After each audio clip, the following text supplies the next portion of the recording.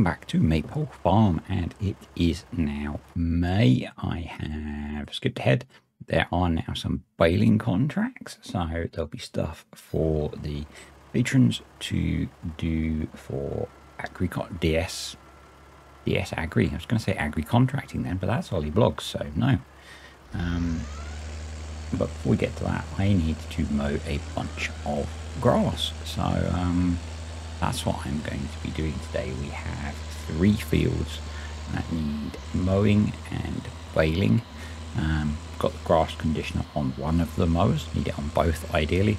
Um, so we're going to get field 16, field 11 and field 12 mowed, baled and wrapped for silage. Um, and then all three of those need the grass ploughing in and replanting. Um, so 16 is going to be soybeans and 11 and 12 are going to be maize and sugar beet. I can't remember which way around that is, but we'll get there when we get there. Um, so this field is going to unusually for me have a cash crop in it. Um, it's been a while since on a regular let's play I've had a cash crop in a field, but that's what this is. Um, think the logic was that this is worth a lot more than um, anything else we would plant to sell to buy in any feed that we need. Um, so like I was buying in brewer's grain over the winter to put in TMR.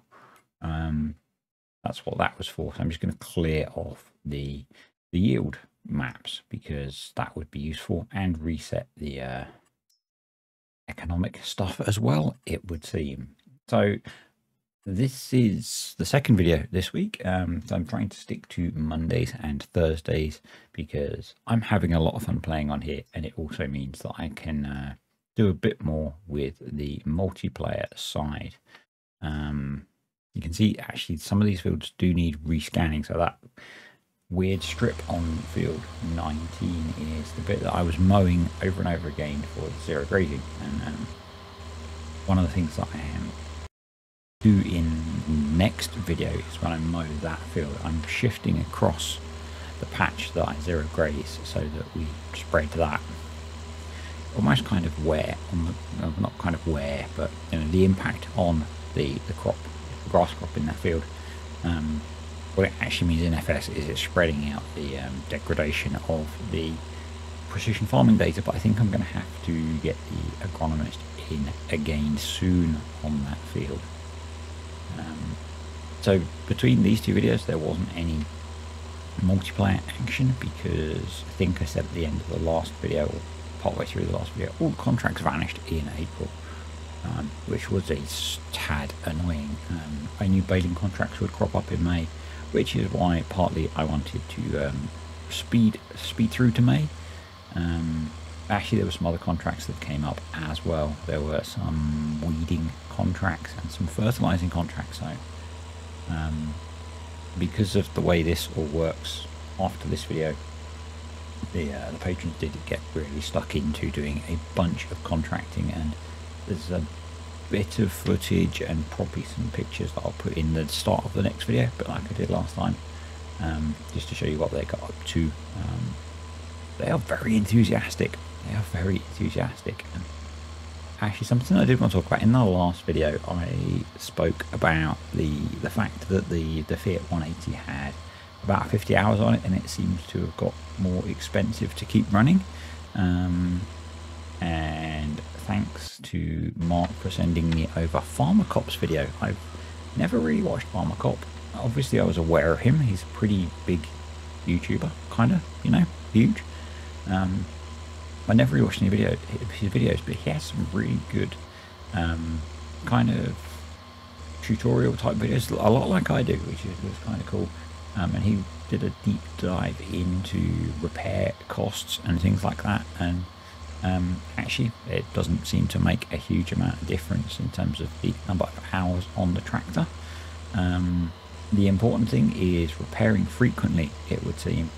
Um, you don't want to let the tractor get more than, you know, the more damage it is, the more expensive it is to repair per percentage point you're re-repairing, which I found really interesting. Um, I did share that video on my community page, so it's worth. It's definitely worth a watch. Um, so that was cool. I think the uh, what Mark pointed out to me was actually Hitting Eagles just used it loads to do the forestry in the last between before the last video. Um, so actually, it had just been used a lot, um, and so it needed repairing again.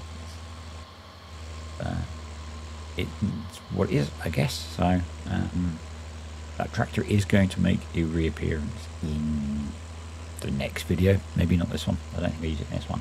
Um, we just don't have enough kit to exclusively have stuff between the two businesses. Um, my intent is that they will be common anyway. The only reason that I'm separating is some of my control issues and keeping bits of the farm separate. Um, so yeah, the, the kit that the, the two the two separate entities own as a multiplayer I actually shared. So um, after this video, all of the grass working kit was transferred across to DS Agri so that they could use it to do baling contracts. I think that was a bit of a shock for them. So the uh, the realization that nothing has auto load and we are not far enough through yet to have things like bale stackers. So people got to practice their manual bale loading and it was pretty good actually. It was pretty good stuff. So yeah. I did actually get on to do a little bit of multiplayer with um, at least with Eagles as well, which was which was fun. Um, I think I spoke about it on the Ohio stream, so if you want to hear a bit more of me rambling about that, go rewatch the replay, which is on YouTube now. So yeah, the really cool thing about this is it's going to allow me to be able to think of the words you're trying to say. Um, to develop stuff and do things that I probably wouldn't have been able to do at quite the pace that I can. Um, that's particularly going to be more useful as we get more advanced and things get more expensive. You know, I, I can buy a tractor now for, for 15, 20k. It's not going to be the case in the future. They're going to be a couple hundred k. So it's going to it's to change, and that's going to be really useful. So what I'm going to attempt to do now is set up a course courseplay course over on field 11 and then use auto drive to drive over there and start work.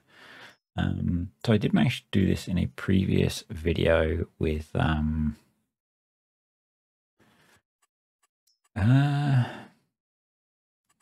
struggling, really struggling with words. A previous video with fertilizing when I was doing fertilizing contracts. Sorry. Um, so I want to try and do it again because basically we have three fields to do. I'm not going to show you three version, three times doing each job. So once I've done them in this field, we'll probably get Courseplay and Auto Drive to do a lot of the work. Um, the slight problem that I missed is that when I selected the destination, it deselected the Courseplay button. Um, so here it goes, nicely running off up round the court, round the farm to uh, get around to field 11, which is down here.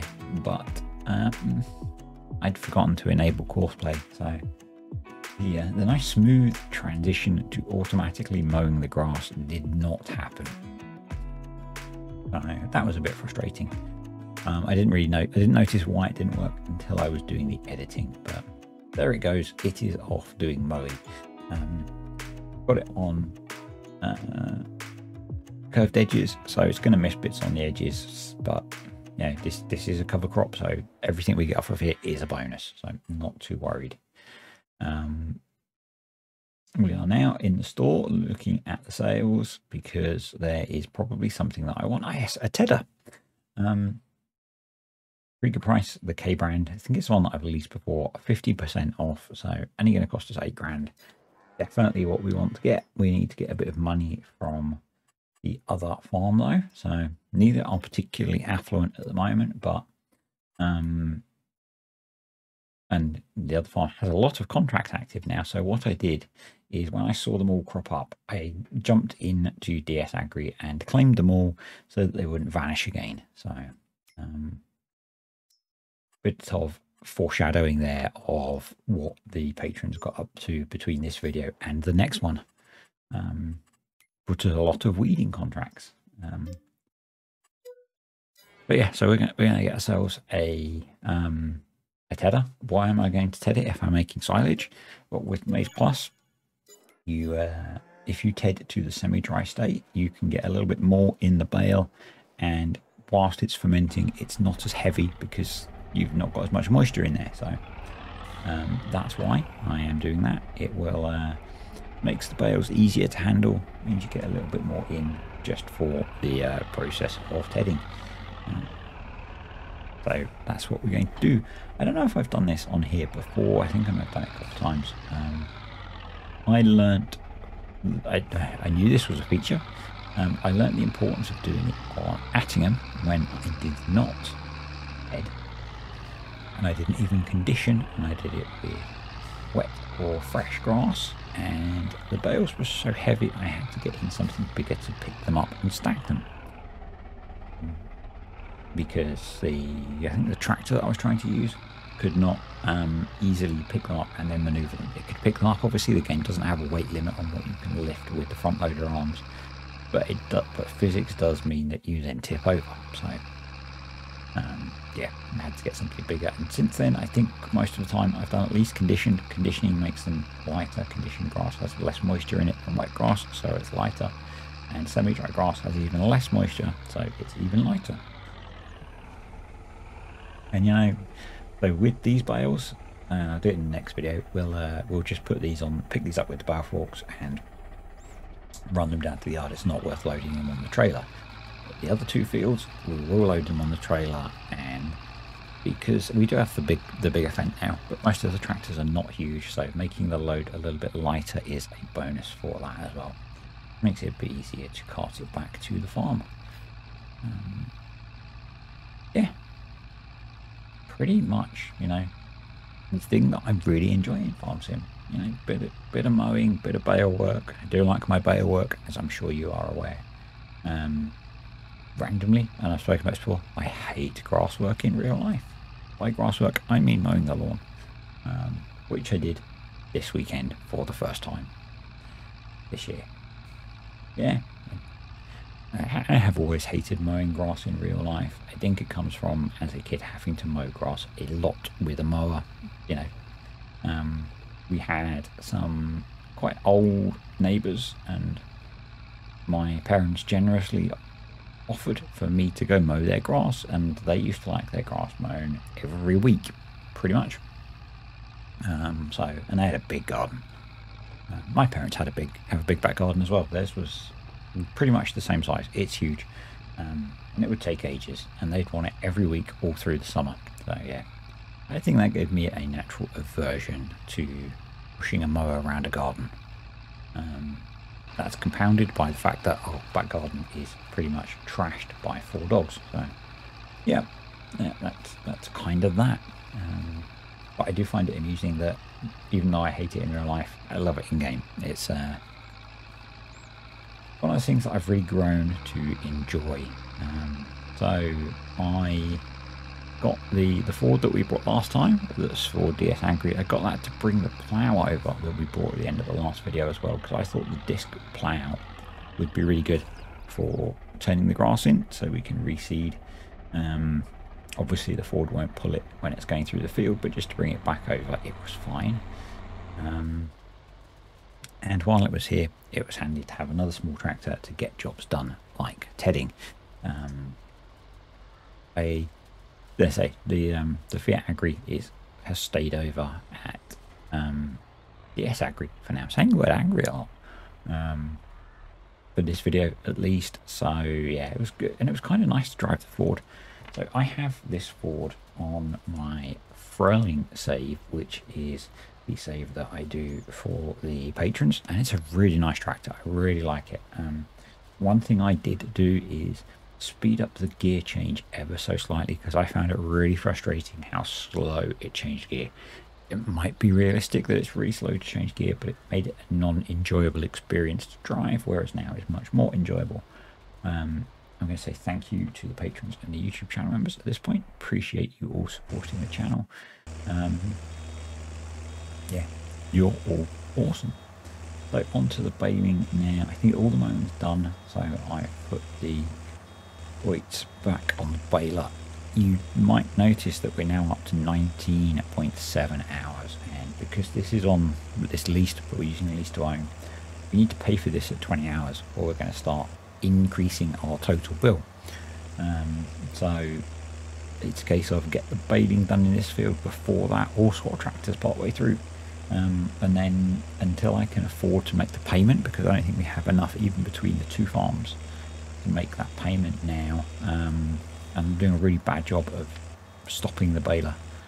Um, that we're just going to have to park this up and leave it until we can afford to make the payment because otherwise we're going to pay we're, we're just going to be increasing our total cost we don't need to we've got enough other tractors that we can use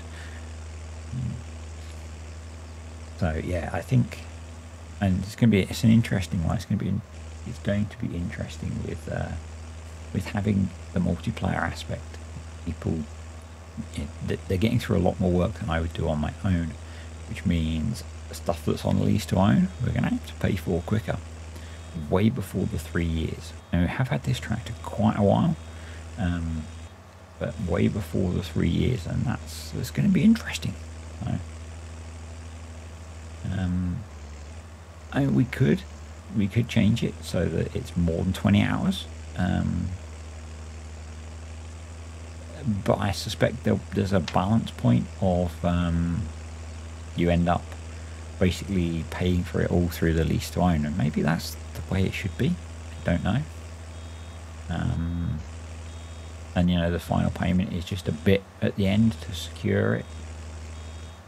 Um, for now, I quite like how it's set up. So it's uh, it's the first time that I've used lease to own where I've even got to near to the limit. Um, they blame it on certain patrons leaving that tractor just sat running. I assume that accumulates work time. Never tested it. Maybe I should. Um, when they were doing forestry, when it was on trailer. Um, I'm curious about that now. I, I sense a video. What contributes to work hours for things? Trailers is a weird one. I wouldn't know how to test trailers, but you know, we had tra that trailer leased and it had almost no hours on it, um, even though it was being used for forestry quite a lot.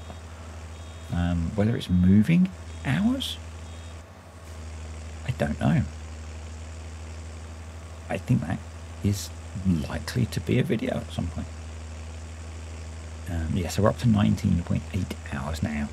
I'm going to stop when we hit 19.9 because we need to drive back there. We've not going to go far, but I just don't want to risk it. I don't want to pay for the extra hour and then essentially that's a lost money. Um, it's not huge amounts with a tractor that costs this much. Um, I think full price is less than 30,000. Uh, it wouldn't be that much. It'd be a few hundred pounds. I should, probably shouldn't have worried. I probably should have just carried on. Um, but I wanted to use this as an example, I guess, of how to uh, operate when you're using lease to own to optimize how much you spend on things. Um, yeah, doing, doing that tutorial really kind of opened my eyes onto how that mod works and was really pleased that I actually got that done. Looks like the Ford has finished windrowing that field. Um, it had a bit of fun with that windrow because it doesn't go backwards very well. Um, kind of like I don't bale very well, or wasn't baling very well when I recorded this video. I normally don't do it as bad as this, but you know, it's clearly having an off day, and uh, because I don't have the sound on, I can't hear the bale warning. So, and I, just, I switched to skip rows just because it was easier. I didn't do. I should have done another headland probably.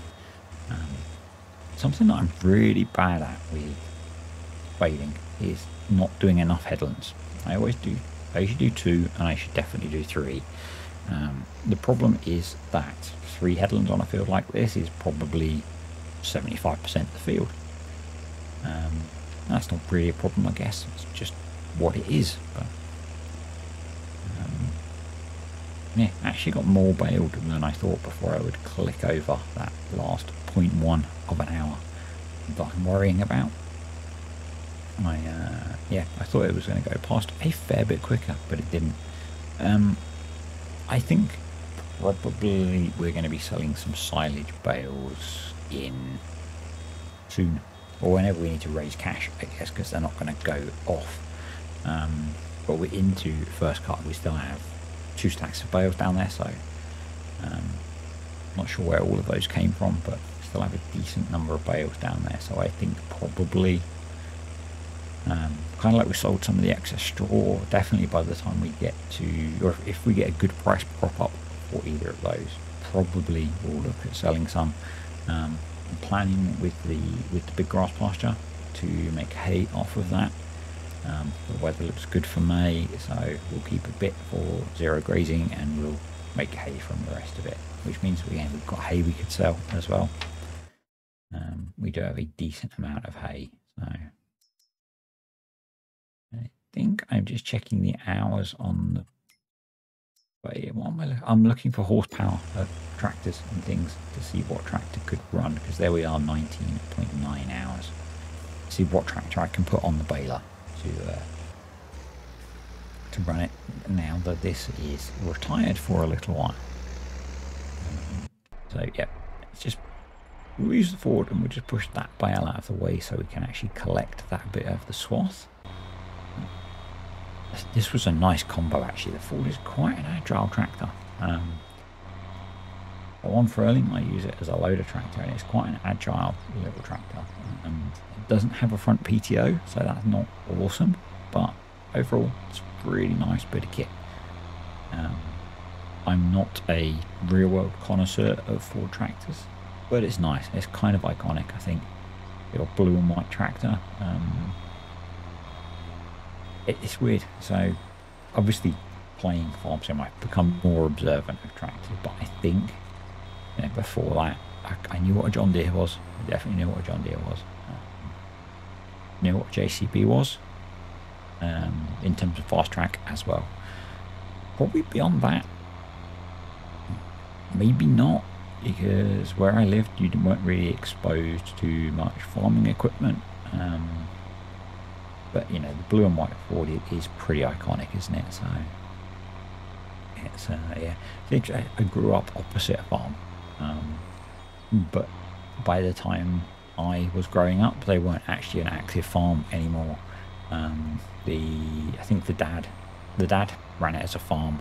The son was into engineering, and I think they probably sold off the farmland, um, and he ran an engineering business from the, the buildings and stuff. So, um,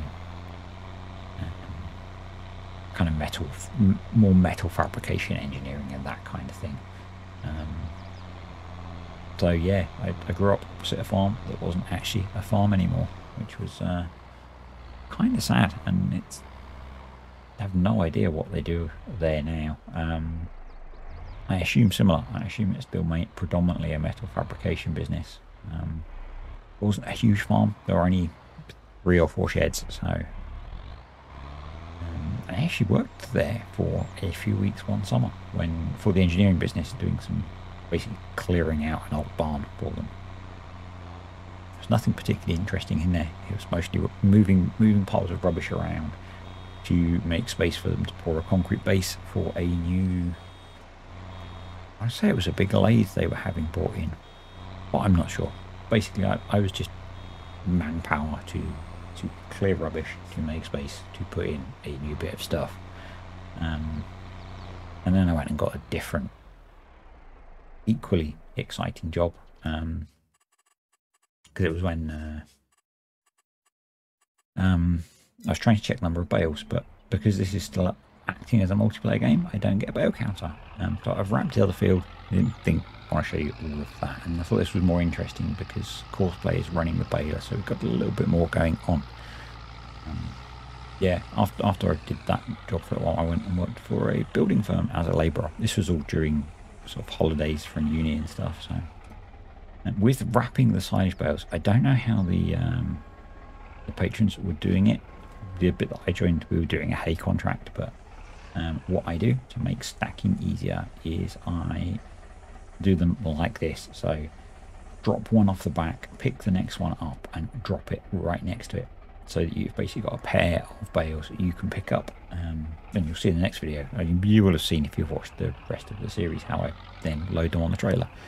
Um, I, I found very quickly that this was a way of speeding the process up quite a lot. It's been a long time since I'd done a lot of manual bale work before I started this save, and yeah, it was a uh, it's a good way of maximizing or increasing the efficiency. You, know. you don't really cover any more time wrapping because you know, I guess that I'm losing time by not driving to the next bale here, but um, the time you save in stacking is so worth it. Um, yeah, if we can just keep them as nice little neat pairs of bales, it also makes counting them easier, which I like. Because I like to know how many bales I got for the field, and you know, for, for putting them on the trailer, knowing you know I know I can fit.